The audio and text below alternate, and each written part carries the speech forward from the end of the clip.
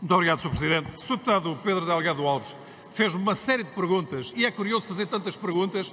Isto, será que está à espera que eu lhe vá responder? Quando o exemplo que nós aqui temos é de ter visto o deputado Rui Rio ter feito quatro perguntas ao seu Primeiro-Ministro e não ter respondido a uma única. Aliás, prática habitual. Aliás, prática habitual do Sr. Primeiro-Ministro.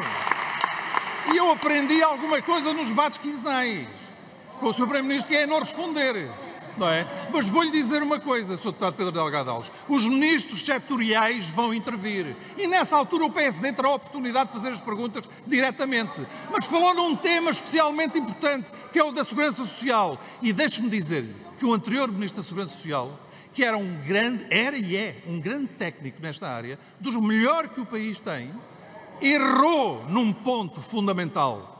Por causa dele, não, nunca se discutiu nesta casa a verdadeira reforma da Segurança Social. Só se discutiu a reforma há duas décadas, há 20 anos. E esse é o grande erro do PS, que não quer ir mais longe.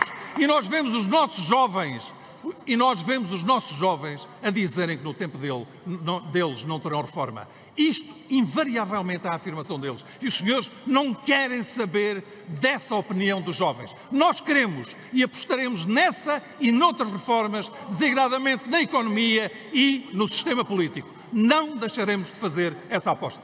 Sr. Deputado Pedro Delgado Alves saberá tudo aquilo que é o nosso programa. Até pode ter a oportunidade de o ler se, se tiver tempo para isso. E os seus ministros setoriais responderão às perguntas que forem necessárias fazer para dar resposta às suas perguntas. Muito obrigado.